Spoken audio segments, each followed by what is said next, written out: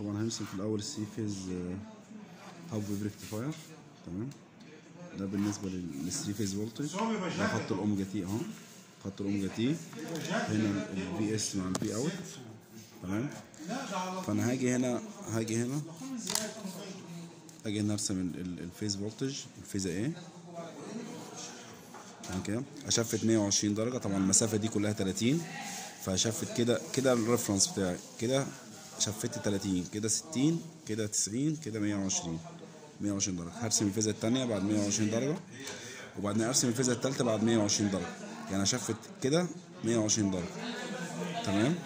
أرجع أكمل ال- ال waves الناقصة بتاعت ال VC أهي. على نفس الخط. ال VC أهي. وهرسم ال VAB بالشكل ده. تمام؟ يبقى أصبح ده ال VA ثم ال VB ثم الايه ال VC لو عايز ارسم ال line voltage ال line voltage اهي. عشان ارسم ال VN اتكسر. تمام؟ فهاجي هعمل هنا هاخد ال- ال scale الكبير. تمام؟ يعني ده ده أنا عندي اتنين scale صغير هنا اهو ال scale الكبير هو بتاع ال line. فانا هاجي هنا هقول انه ال reference عندي بادئ من ال zero اللي هو ده. ه shift هنا شمال 30 درجة.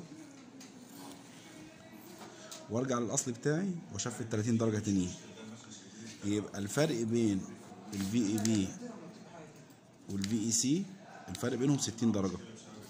تمام؟ 30 30 هرجع أكمل مين؟ هكمل ال VAC بالشكل ده أهو؟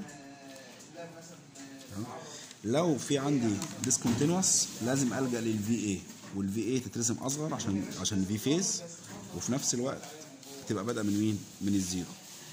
دي الرسمة بتاعت الايه 3 phase